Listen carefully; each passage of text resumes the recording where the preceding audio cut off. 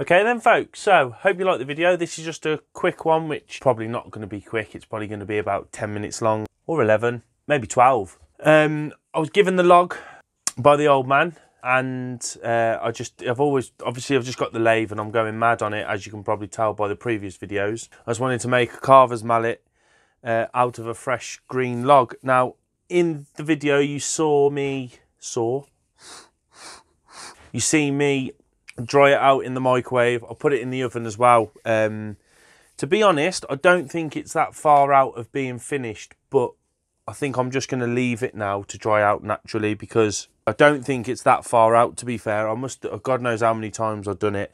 Uh, what I was doing is I was putting it in for a short amount of time and then I was taking out, letting it dry um, and then putting it back in and doing that so on, so on. What I should have done, obviously, if I had a moisture meter or uh, some electric scales, I would have weighed it. Every time it dried out, I would have re-weighed it and obviously stopped when the weight stops dropping. Obviously, then the moisture would have been out enough, I think. But yeah, I'm just going to leave this now for six, eight months or whatever.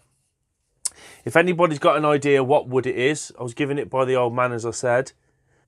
It freshly cut down. So, you know, I haven't got a clue what it is. Probably a bit of sycamore, maybe. I don't know. I don't know. I don't know. We'll see how it goes. If it splits, it'll be destined for the fire, I suppose. But it feels really nice. Kind of looks like a champagne flute, doesn't it? Cheers.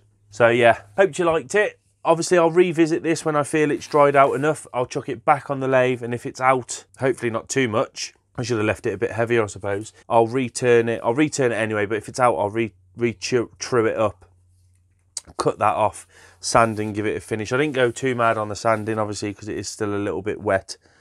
Uh, but I can't wait to get a bit of finish on that bit there. That will look lovely, lovely, lovely. So I hope you like the video, folks. If you haven't already, please consider subscribing.